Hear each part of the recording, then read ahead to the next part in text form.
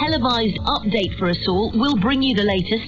Are you helping elderly neighbours, checking in on them, or offering to take them supplies? You can also tweet us at BBC Radio Wales. We'll also hear this morning from some small business owners just to hear what they're doing differently this week. And of course, we'll bring you the very latest from across Europe. And also this morning, we'll be talking about the video of two goats who got onto a roof of a house in the Rhondda. It's gone viral. We'll be hearing how Trouble and Nape were coaxed down. Weekday mornings from 6. BBC Radio Wales Breakfast with Claire Summers.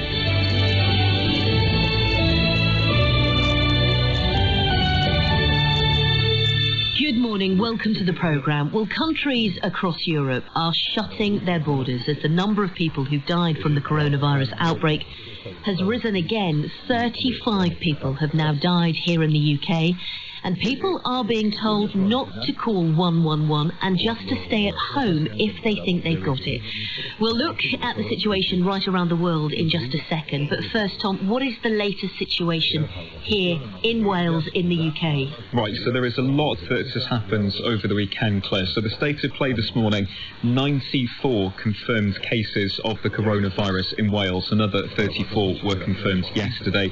Uh, Denbighshire, Merthyr Tydfil and Gwynedd are the only three counties in Wales that don't have any cases as it stands. Uh, there is a caveat to those figures, which is that Public Health Wales has stopped testing people generally. It's only now for people who are sick enough to need to go into hospital. So those figures are likely to be far lower than the real number of people who have the coronavirus. The assumption now is that people who've got flu-like symptoms probably do have it. And as you said, the advice is just for people to stay at home, not to go to a GP surgery or a hospital, not to call 111 unless your symptoms get much worse or if you can't cope at home. Some of the symptoms you'll remember are things like a fever or a cough. Now, the UK Health Secretary over the weekend suggested that everyone over 70 will be told to stay at home in the coming weeks. Nothing's been confirmed about that yet. We should find out a bit more today because there's going to be a daily briefing at Downing Street from today. Uh, face-to-face assessments for benefits are also being suspended. So if you need to go for an appointment to see whether you can get a disability benefit, for example, those are being called off to try to protect vulnerable people. But if you were in the shops over the weekend, you would have seen the supermarket shelves empty. Things like pasta just completely gone. Uh, toilet rolls you haven't been able to, to get for love nor money. Uh, and uh, these are the views of some of the shoppers who were out over the weekend talking to the BBC. Not a lot on the shelves left. Um, no toilet roll at all, uh, absolutely none. So I had to resort to buying boxes of, of tissue, unfortunately. Have you tried to stock up on anything yourself? Um, yes, to be perfectly honest, just because everyone else is doing it. Um, but they did limit us when we went to pay. It's a bit ridiculous. I can't find some toilet paper. Well, supermarkets are also urging people to stop panic buying.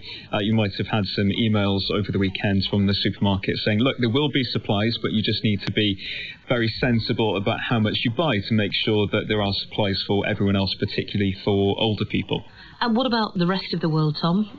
So, Italy is at the centre of the outbreak now. Uh, of course, the coronavirus outbreak started in China, but only four new cases have been reported there.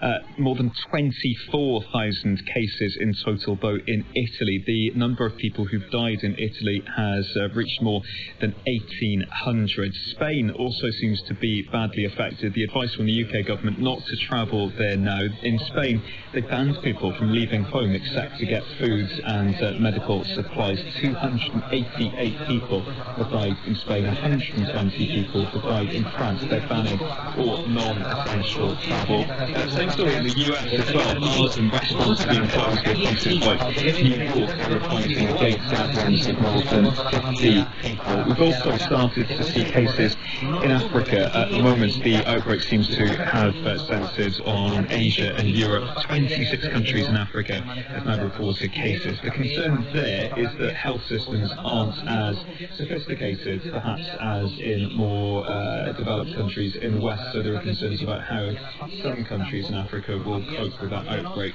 One of the more bizarre stories uh, this morning, though, is the owner of Louis Vuitton is going to start making hand sanitizer, which is a very strange sentence to say. Their factories, which would normally be producing uh, perfume, they're going to switch making hand sanitizer instead because there's uh, a shortage Fascinating, isn't it? Talking about that uh, with Mrs. Little Business in just a moment. We'll also be heading to Spain to get the latest situation uh, there. Uh, Tom, briefly though, what about schools and university? What's the impact on them? Yeah, so as it stands, schools still open. Uh, the Welsh Youth Parliament, 20 of the members, young people who represent different places around Wales, they've written a letter to the Welsh Government saying they think that schools should be closed. As it stands, though, the advice is that schools will remain open. The Welsh Government says uh, the evidence doesn't suggest it would help because what's likely to happen is if schools were closed, children would end up being looked after by their grandparents, who are one of the most at-risk uh, groups. Several universities are changing their stance, though, particularly in Wales. Uh, we've learned that Bangor University is going to suspend lectures, face-to-face teaching, for the rest of the academic year. Cardiff University also planning to phase out lectures, and staff are going to start working from home. Lots of people, I imagine, working from home today. Yeah, probably listening to us now. Good morning if you're planning to work from home and uh, listening to us uh, this morning. Uh, the Foreign Office is now advising against all but essential travel to Spain, including the Balearic and Canary Islands.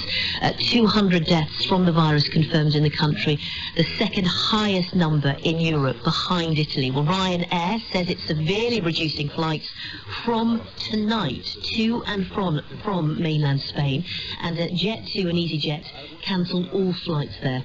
Arena Bodnarek is a reporter for the Costa Blanca News and runs the website Benidorm, Benidorm all year round. The ones in hotels are fine in that they can go and stay in a hotel, but there are many groups here that come to self-catering apartments, and they're the ones with restaurants being closed. They're the ones that have got a real problem. I'm telling people if they're here at the moment, get out now because airspace will, it's only a matter of time before it's locked down, probably in the next couple of days.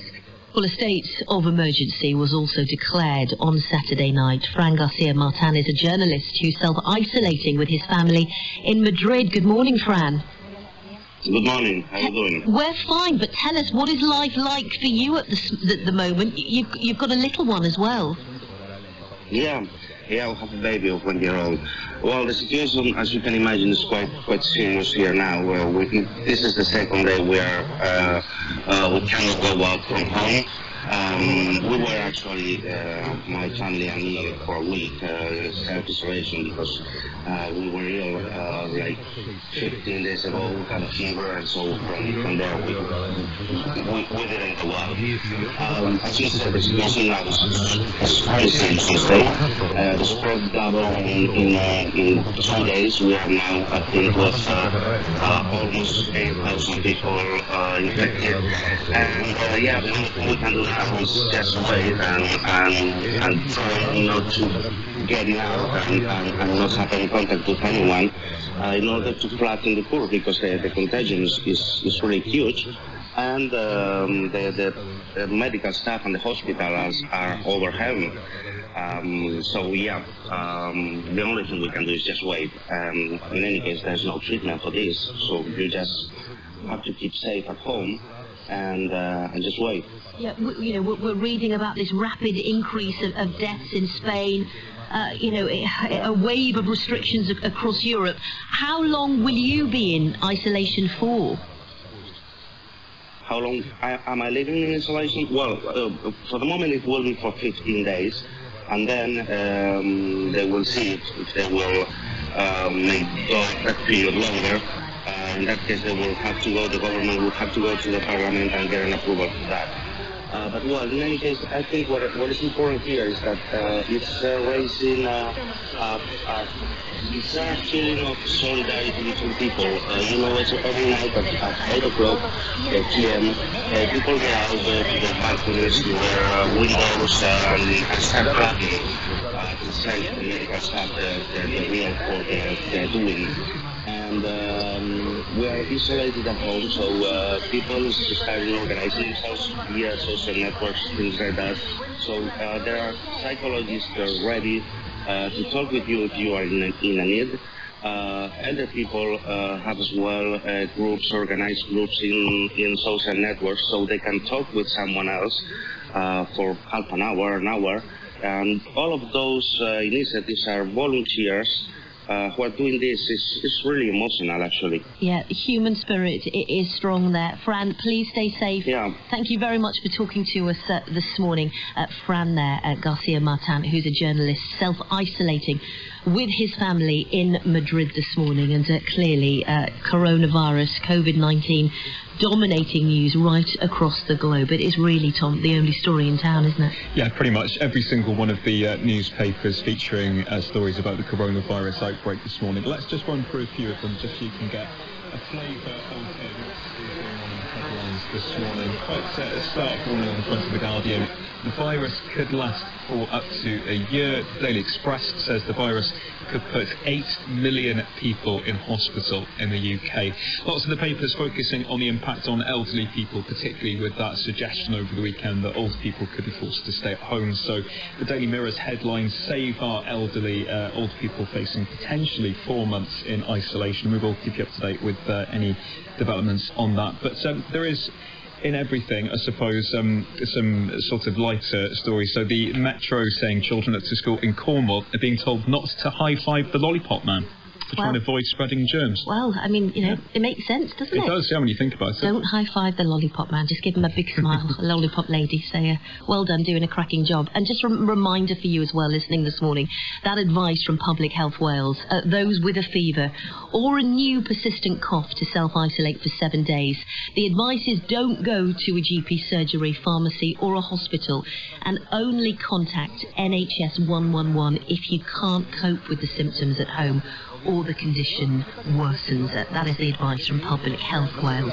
Uh, of course, Ian, huge impact on the sporting world, and it could get worse. Yeah, and loads of speculation about how football is going to solve the gridlock of all the fixtures piling up now. The Daily Mail says that a growing number of Premier League clubs are ready to abandon the season. I don't think Liverpool would be uh, be one of those. The Sun um, says that uh, UEFA have a plan how they're going to deal with the Champions League and Europa League. They say that the semi-finals and the final will be played over five days in one city. Of course, tomorrow the bosses are meeting to discuss what's going to happen with Euro 2020, um, increasingly likely to be postponed.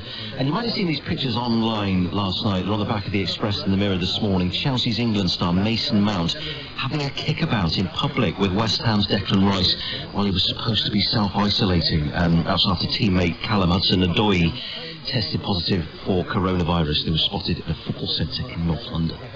Oh dear. Ian, for now, thank you very much. 6.21 is the time. Let's bring you travel